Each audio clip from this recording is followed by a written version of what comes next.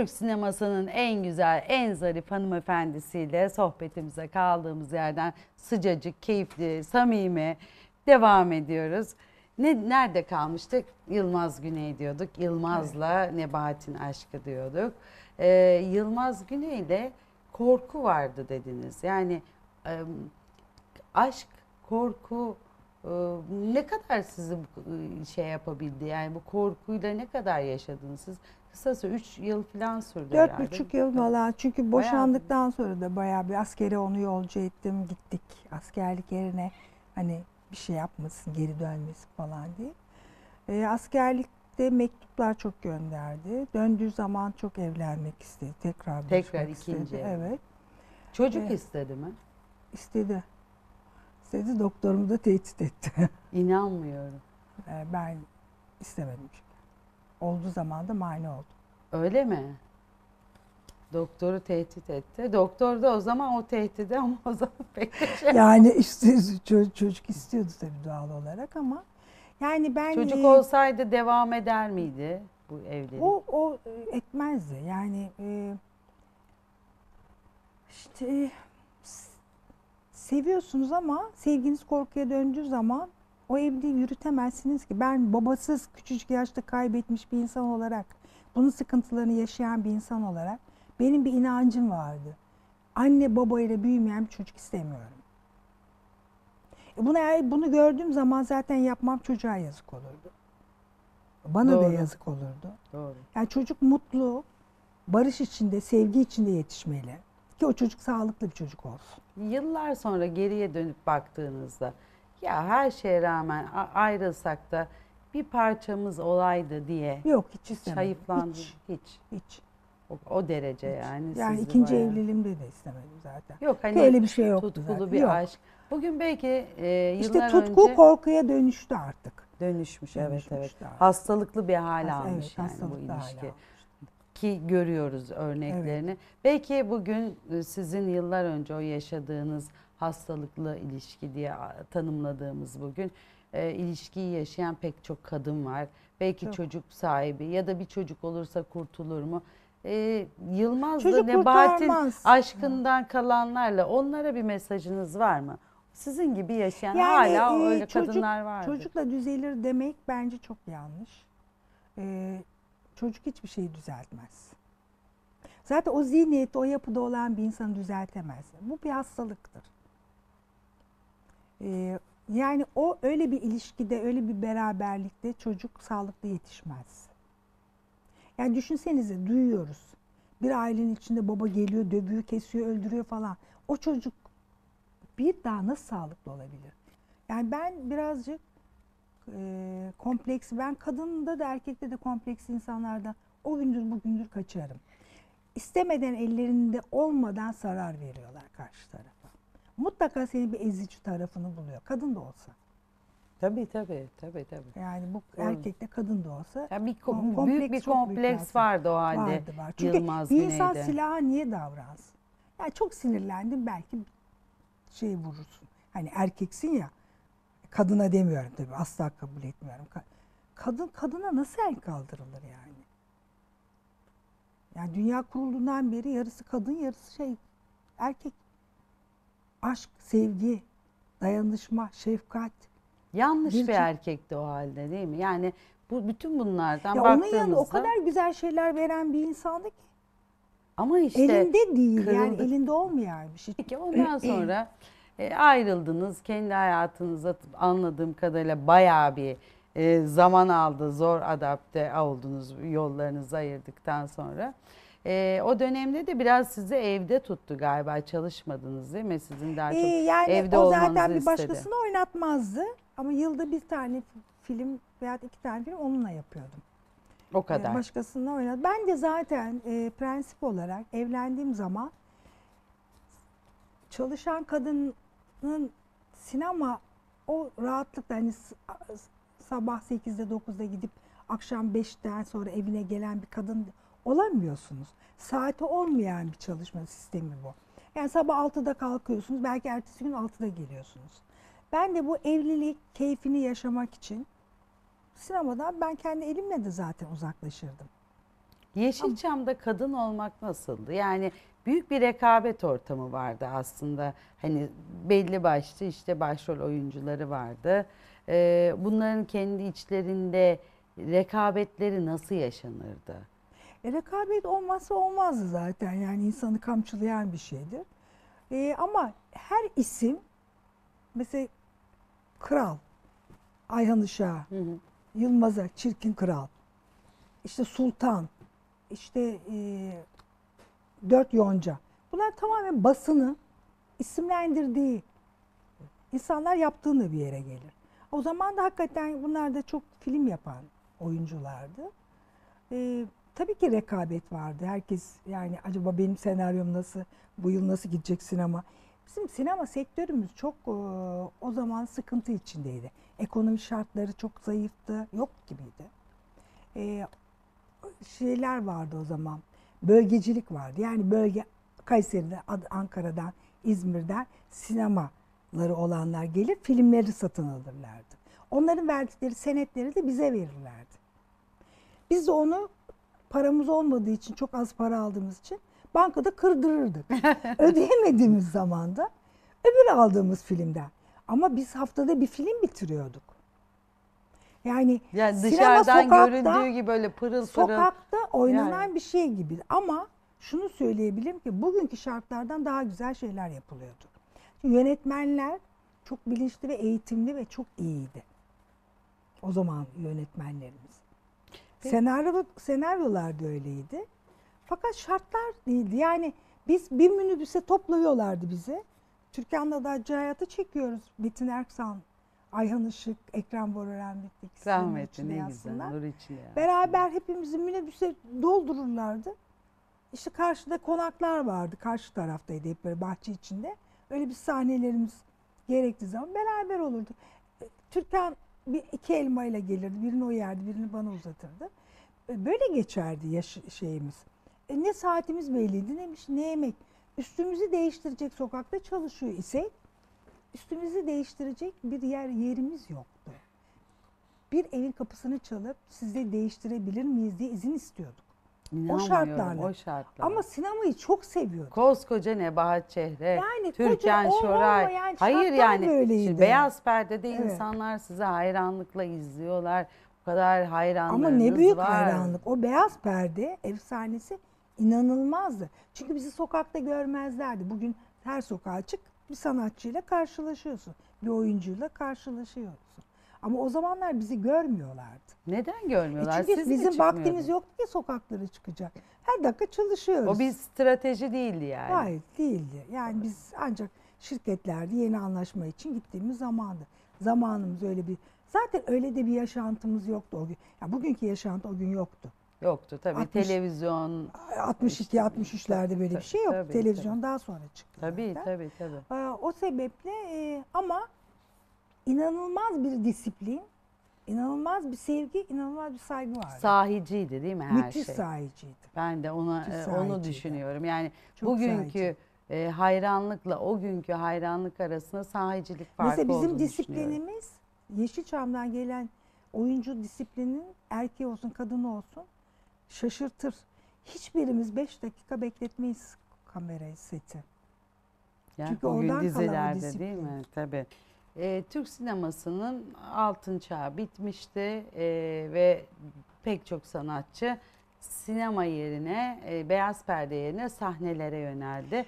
Siz Evet. de onlardan biriydiniz. Sesinizi kim keşfetti yoksa hani bir furya mıydı? Bu nasıl oldu? Gerçi çok güzeldi yani o, o döneme ait hala dinliyoruz. Muhteşem bir Evet. ses var ama bunu nasıl keşfettiniz? E, şimdi Yeşilçam tabii o e, ters bir şeye viraj alınca biz kaldık ortada. Fakat o dönem e, tabii ki insanların o beyaz perdedeki oyuncuları yakından görmek istiyorlardı. Onun için e, gazino teklifleri başladı, şarkıcılık. Ve iyi paralar verilmiş değil mi? Hep Müthiş bir paralar. O dönemde müthiş bir paraları verildi. Ee, ben iki sene de hayır dedim. Halbuki hiç de paramız falan yok yani öyle e, normal insanlar gibi yaşıyoruz.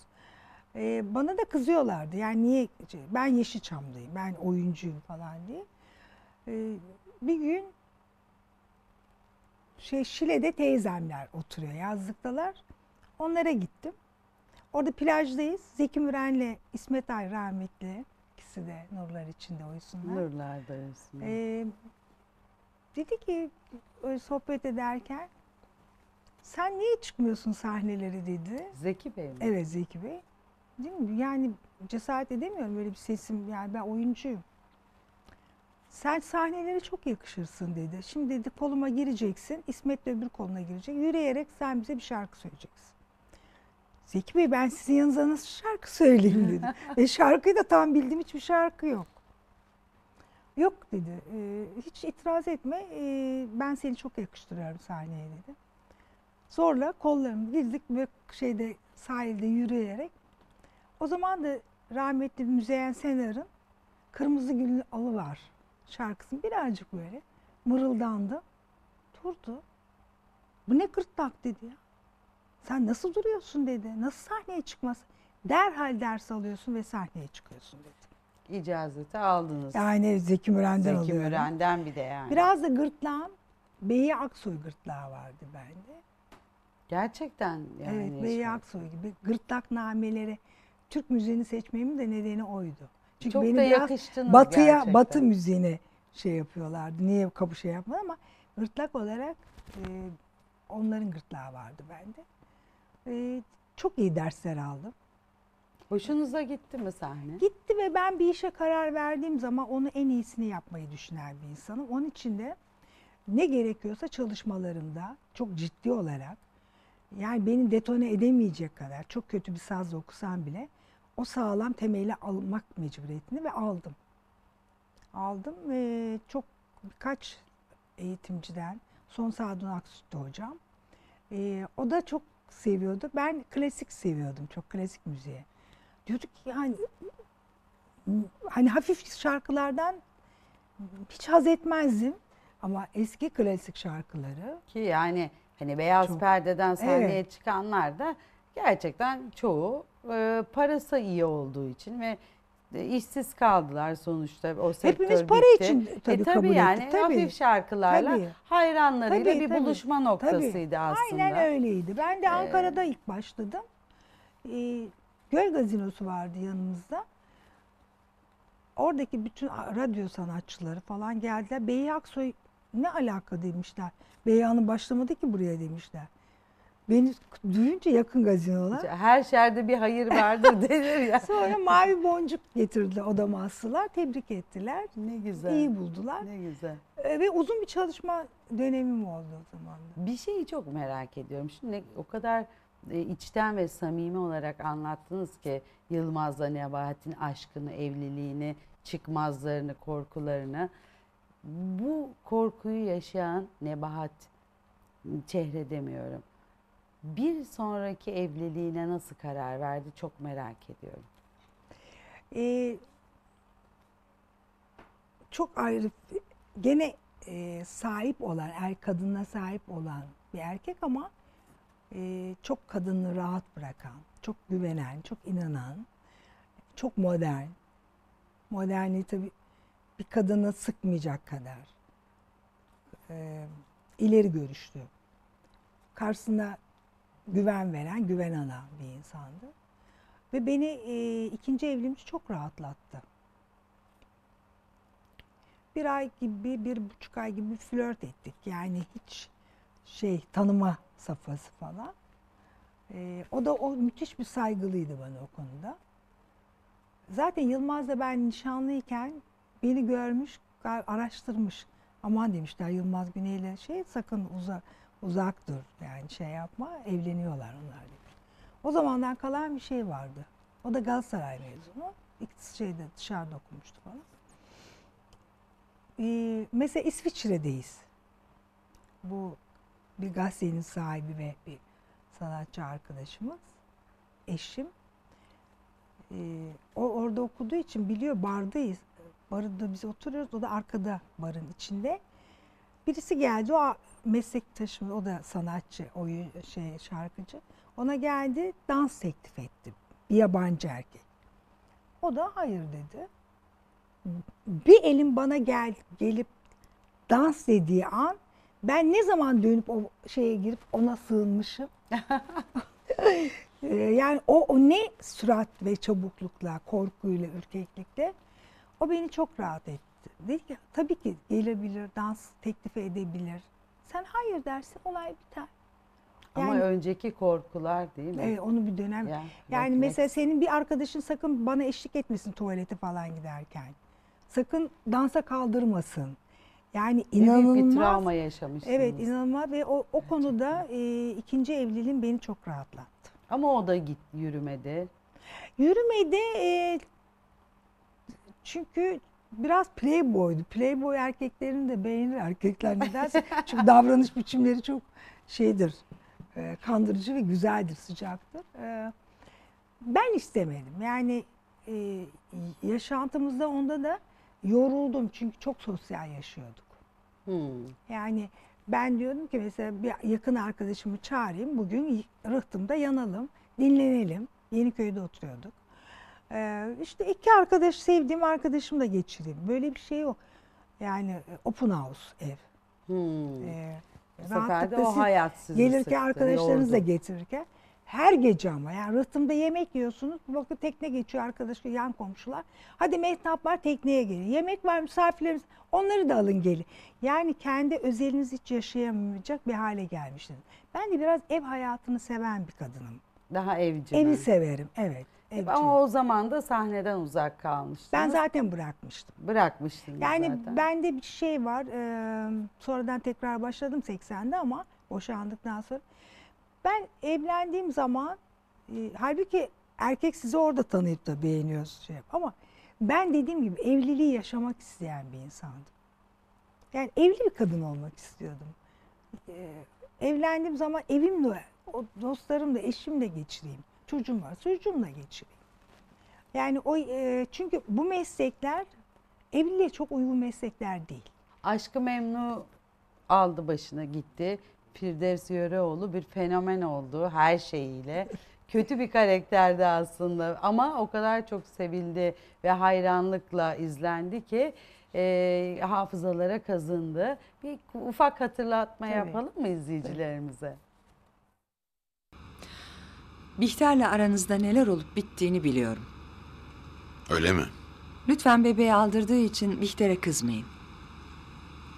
Öyle büyük bir travma yaşadı ki neler hissettiğini tahmin edebiliyorum. Kim bilir nasıl bir psikolojiyle bunu yaptı. Sizi ne kadar çok sevdiğini biliyorum. Tabii siz de biliyorsunuz. Firdevs Hanım lütfen. Bu konu sadece bizi ilgilendiriyor. Kızımı mutsuz eden her durum kesinlikle beni de ilgilendirir. Size en başında söyledim. Daha evlenmeden altını çize çize belirtmiştim bunu. Hatırladım. Bihter eğer bu eve döndüyse sizi gerçekten çok sevdiği için döndü. Yaşadığı onca şeye rağmen, sizin tarafınızdan uğradığı hakarete rağmen size döndü. Kendinizden daha fazla uzaklaştırmayın. Bir anne olarak bunu sizden rica ediyorum. Vaktinizi aldım. Şimdi kızlarımın yanına döneyim, izin verirseniz.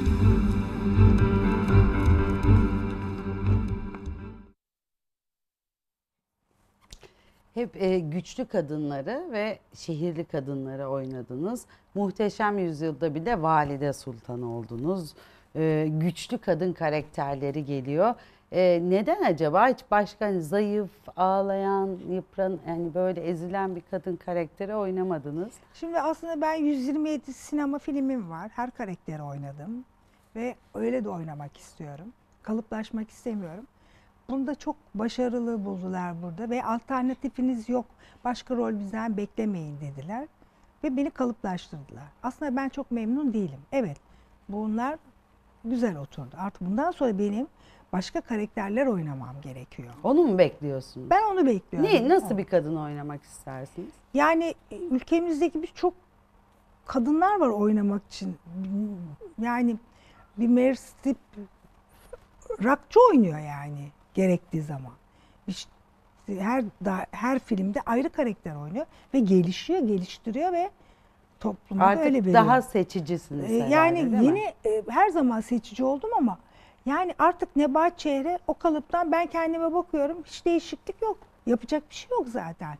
Yani o kalıptaki bir kadın. o. Kendimden sıkıldım. E ben sıkılıyorsam izleyicim daha çok fazla sıkılıyor. Yakında yeni bir proje var mı? Hayır bir proje yok çünkü benim istediğim bir proje başka bir proje. Yani yine bir şey kadın, şehirli kadın olabilir. Yine öyle bir kadın olabilir. Ama yani bir şey gelmiyor aklıma ama değil, belki bir savcı olur da mafya ile uğraşıyor olur.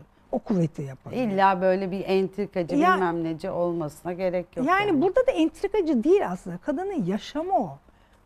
Yani Doğası bu tür o kadınlar kadının. var. Yani bu yaşamı bırakmak istemeyen aslında çocuklarına çok düşkün bir kadın.